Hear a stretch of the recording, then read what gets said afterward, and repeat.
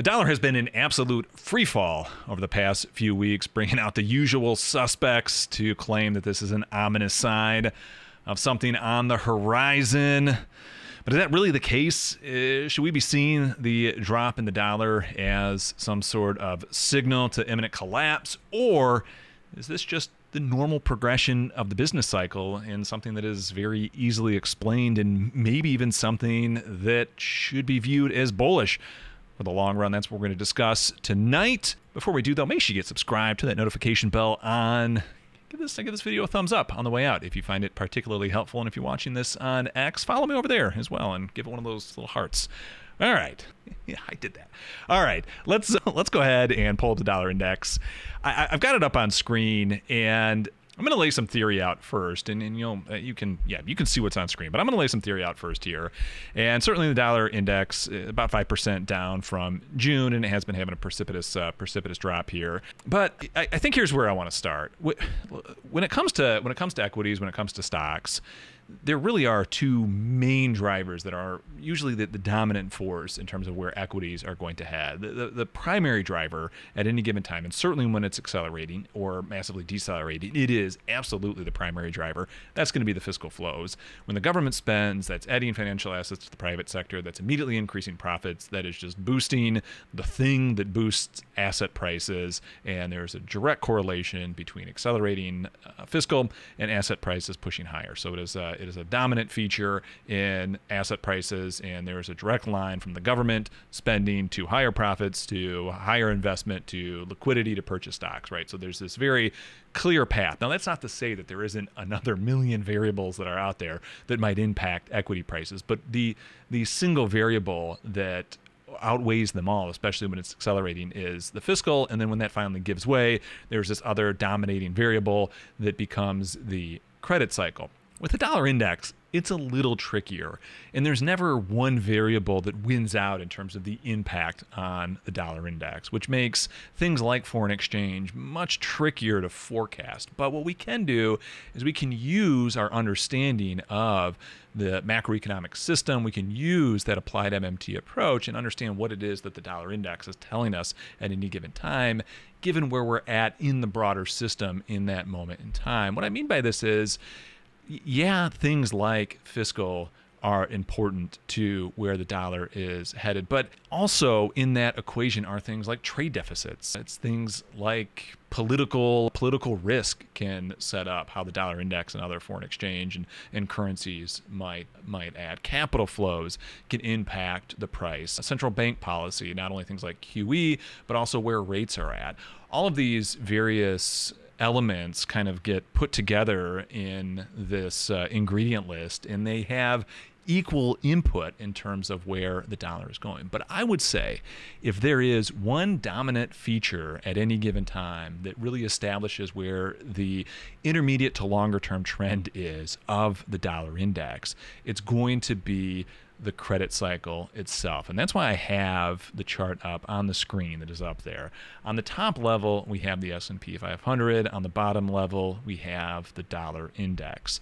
And as you can see, I've color-coded various uh, little segments of the dollar index with the corresponding time frame that played out in the S&P 500 above. And what I want you to notice is consistently when the dollar index starts to take off, push much higher, that puts us in a realm where we end up seeing higher volatility in markets. It's when the dollar is pushing higher that we see the biggest drawdowns. It's when the dollar is pushing higher that we see the biggest risk in equity space. And this is going back going back all the way to the great financial crisis uh, with what I have on, on the screen right now. When the dollar is pushing lower consistently, that's in alignment with markets that are relatively bullish. And the reason for this, I would say, this kind of, uh, we're call this like a soft correlation here. And again, I, I, I want to be very, very clear. What I'm about to spell out is not the sort of mechanical way the stocks operate from fiscal flows, right? There's a very mechanical process that takes place from fiscal flows to equities pushing higher. This is a little bit different. And again, it is not the dominating factor at all times, the way, say, fiscal and credit is with equities. There's a lot more happening here, and each of the various components contribute to kind of the overall volatility or the overall movement that we see in the dollar. But one thing that definitely happens is when the credit cycle starts to take off, that's doing something kind of special to the dollar market as a whole. When you create a loan, when you go you know, borrow money and you're doing that at a bank so that money is being endogenously created, it's actually creating new dollars. So that's increasing the amount of dollars that are out there.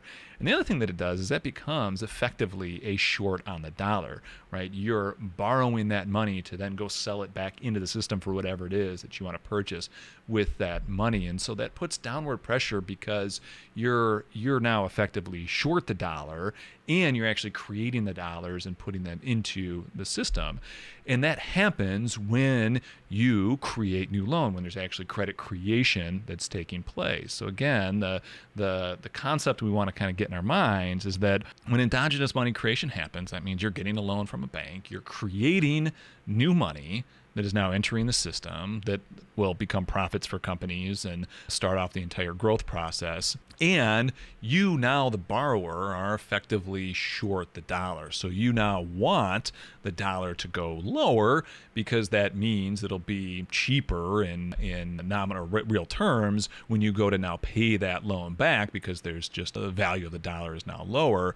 And so you're, you're effectively short the dollar. And if the dollar were to push higher, that's going to put more strain on your specific position.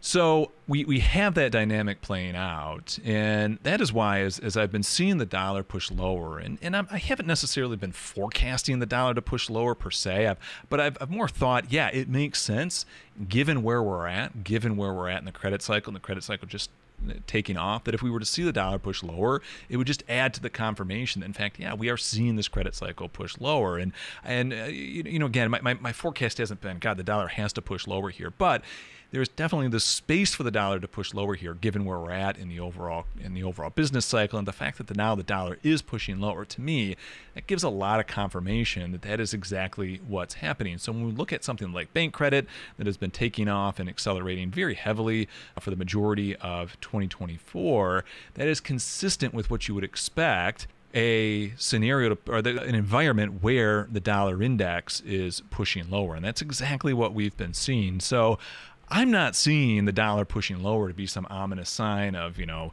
dollar collapsing or whatever scenario the uh, kind of the perma bears love to uh, love to dream up. I see this as just a natural outworking of bank credit expanding and the beginning of this bank credit cycle that we are currently in. And I would expect the dollar now to push lower for the coming months as this credit cycle really starts to play out. And what will happen eventually, because it's a it's a cyclical system, it's a dynamic system. Eventually, we will get to the point where the credit cycle runs out, and then the entire thing's going to start to start to unravel, right? So if what's pushing the dollar right now, above all else, if it's the dominant feature that's pushing the dollar lower, is the credit cycle expanding, so new loans being created, that money going out there in the system, driving up profits, and allowing that whole credit cycle to continue, pushing the dollar lower, what will eventually happen is that cycle will exhaust, and eventually you will start to have to repay back those loans. The loans won't be created as fast as they need to be paid back, and then you get yourself into a credit, a bit of a, a credit crunch at an aggregate level, and that is exactly what we see play out in the uh, time frames that I've highlighted here in red, where you get, uh, yeah, I mean, effectively a credit crunch, and you get uh, business slowdown and that sort of thing, and a lot of fear baked into the market, and you see the sudden shot higher in dollars. Why? Because when you go from expansion to contraction, you end up finding yourself in a scenario where everyone is now rushing to get dollars, and there's a dollar shortage as everyone needs to deliver, and that creates a lot of instability in the system. That shoots the dollar higher, the dollar becomes much more valuable, and the outcome of that in the equity space is you see a lot of volatility, and that's when the big drawdowns happen uh, because that is where the uh, the risk really emerges.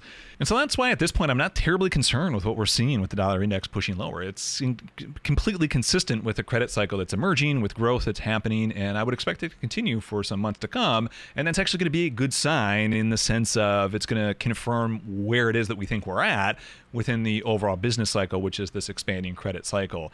And so, yeah, overall, you know, in general, don't pay attention to the perma bears and, and the usual suspects in terms of claiming anything and everything is always some sort of indication of, of imminent collapse. And when you use kind of a more holistic system dynamic, you know, applied MMT approach and start to piece each one of these things in terms of where they're at in, in any individual in any individual step in the in the cycle, you begin to understand what it is that something like the dollar collapsing is actually trying to tell you about where we're at in the in in the in the broader market space. So all in all, I'm not concerned about the dollar. If anything, it, it continues to just kind of confirm my overall long term bullish stance.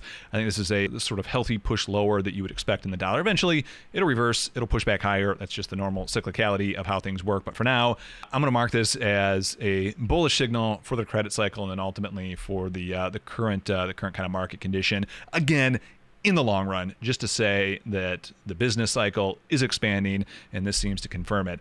That's all I have for tonight. If you are new here, uh, make sure you check out, and you're an active trader, active investor, make sure you uh, check out appliedmmt.com. That's where you can get the sort of research in depth, all the tools that we have available, uh, as well, all the sort of models and whatnot over there, appliedmmt.com. But that's it. Until next time, good trading, everyone. We'll talk to you then. Bye bye.